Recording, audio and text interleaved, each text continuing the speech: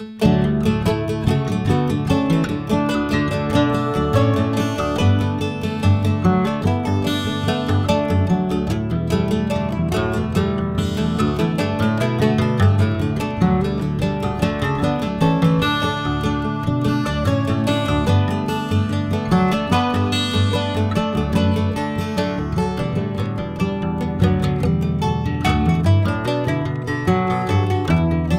have another one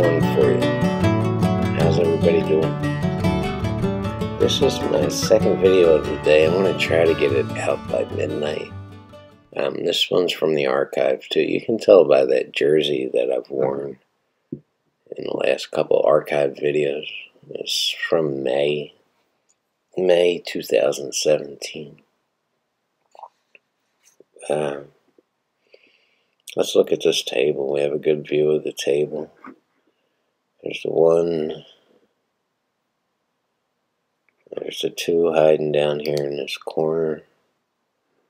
There's the three along the same rail, but that that's up about three and a half, three three and a half inches, and then the four is right there next to it. This shouldn't be a problem. The five, I don't see a problem there. Not much of a problem. Uh, six is down here. We need to come up short on the six so we can draw back up on the eight with a chance of making this nine ball in this rack off a uh, billiard. Eight's down here, center. Seven to the eight. Looks like it's going to be the issue. Let's roll it.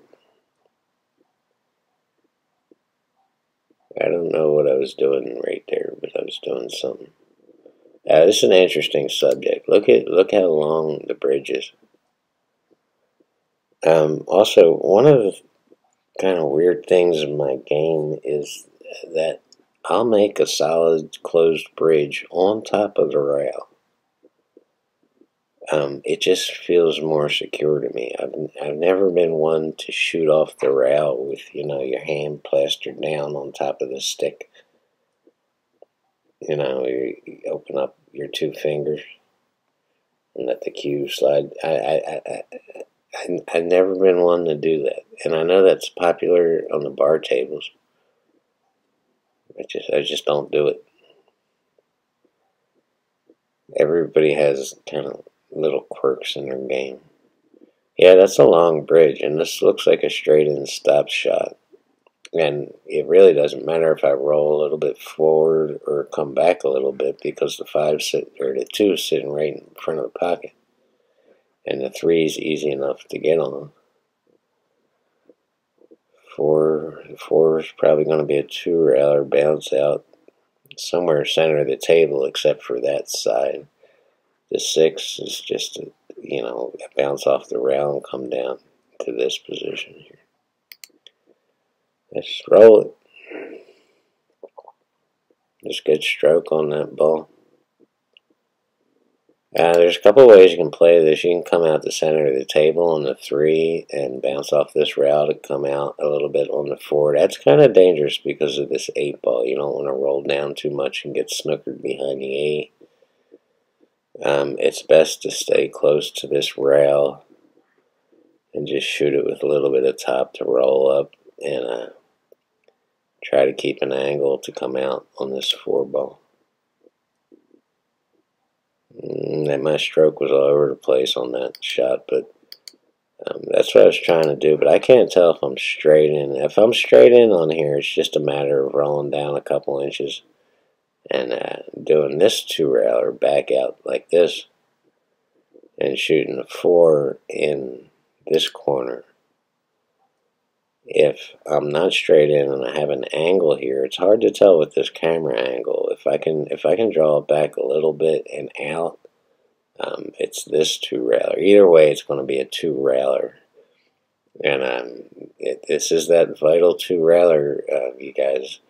I hope you've been working on because it constantly, constantly, constantly comes up, and people people miss them.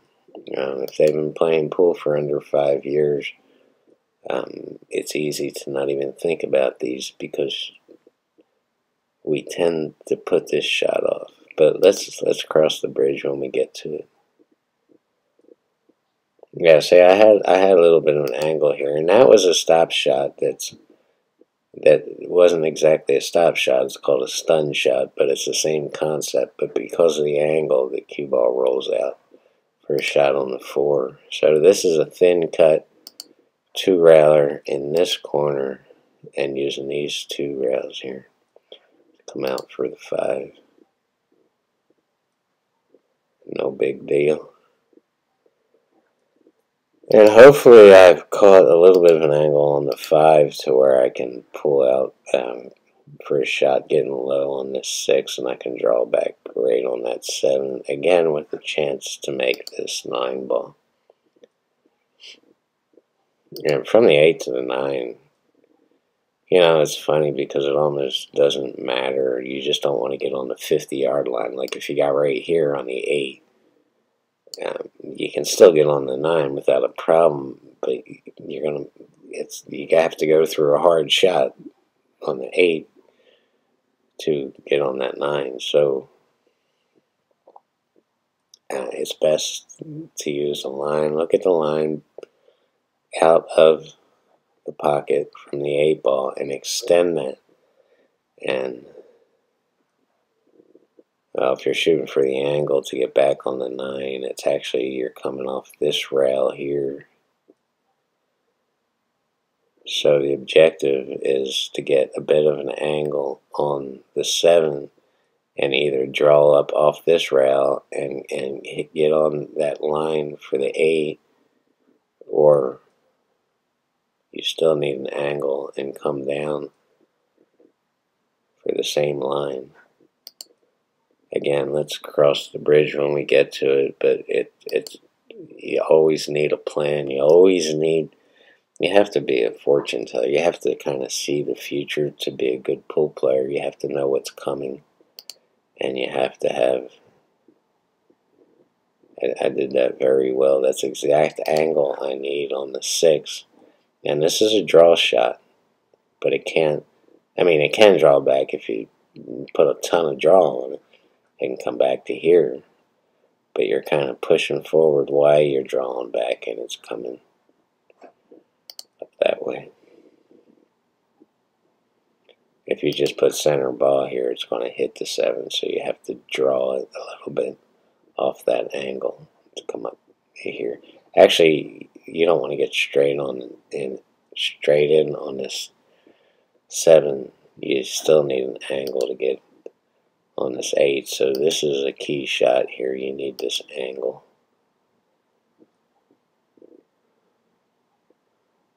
And we actually hit the 9. We, we got a perfect angle.